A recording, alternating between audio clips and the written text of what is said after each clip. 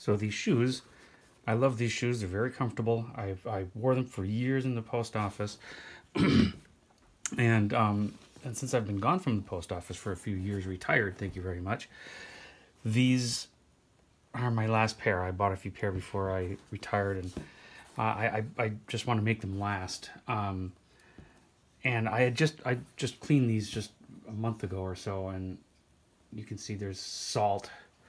Um,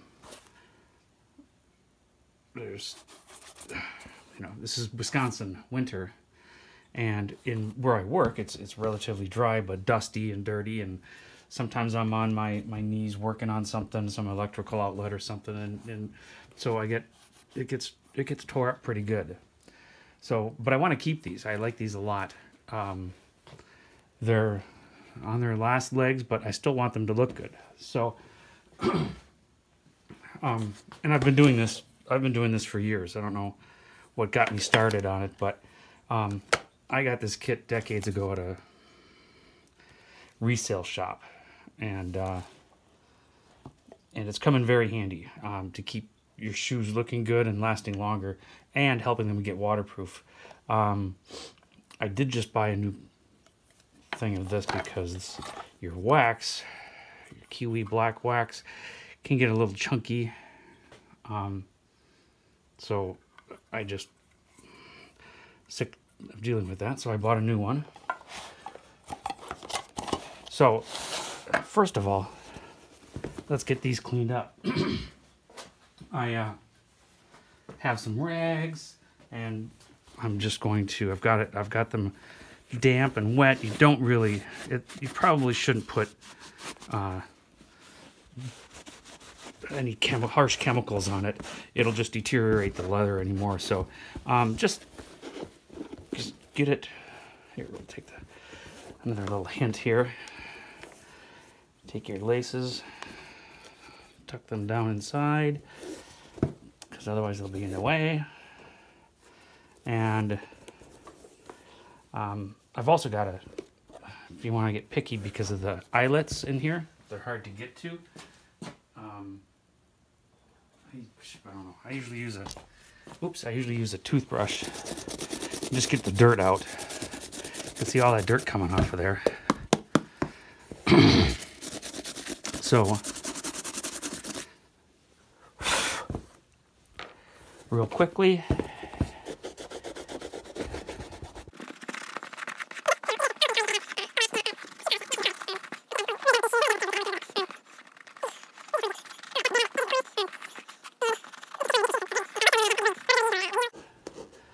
but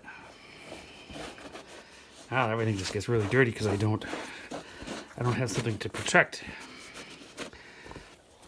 Okay, these this is uh, this is uh, my shoes are now damp and I don't want you don't want to do them when they're damp. And a hair dryer, so you pick up a hair dryer for a buck at a resale shop store and uh, so you can do things like this and not have to wait.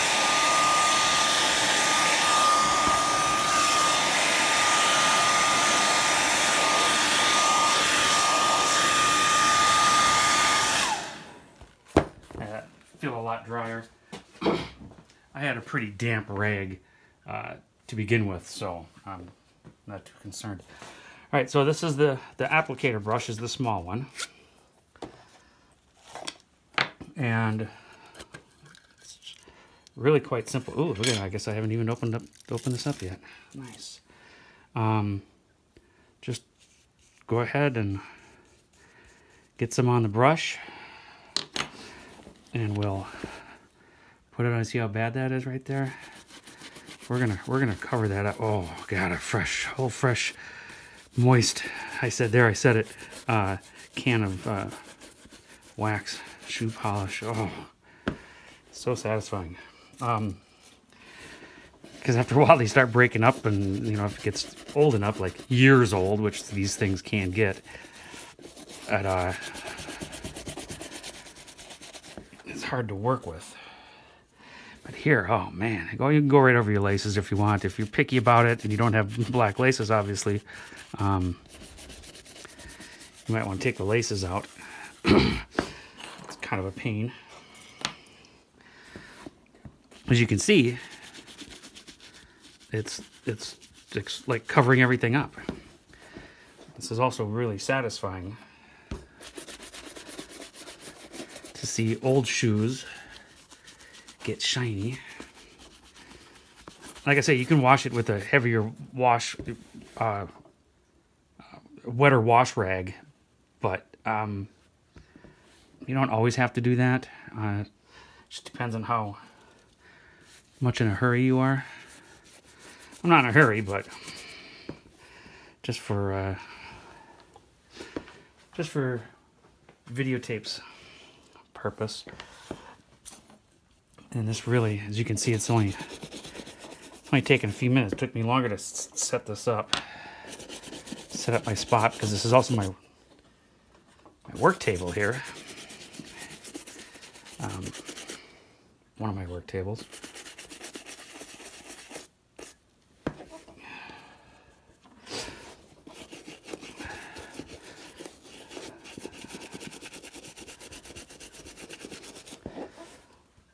And you'll feel when you're starting to run out because it stops covering so well. And in these, especially in these toe areas where it's where there where there's heavy damage and um, it'll soak it right up. You probably want to use more up there as opposed to the these back areas and the side areas.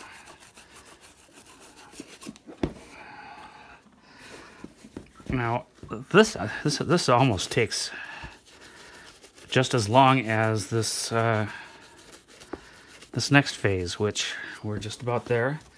Uh, I'm just going to double check, make sure I got all the spots right.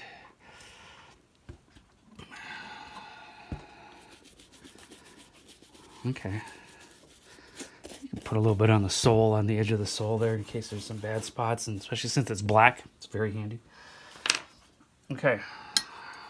That's it with putting the wax on just brushing it in really good. Now here comes the part that's uh, magic. This was magic, but this is also magic. So there's a sort of a sheen, right? Take your, it's a horsehair kiwi brush. And give her a buff. Everywhere where you put wax, Give it a buff.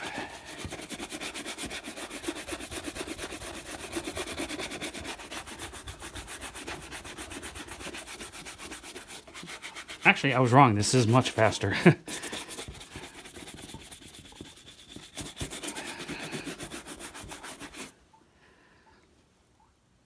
yeah, nice and shiny. Look at that.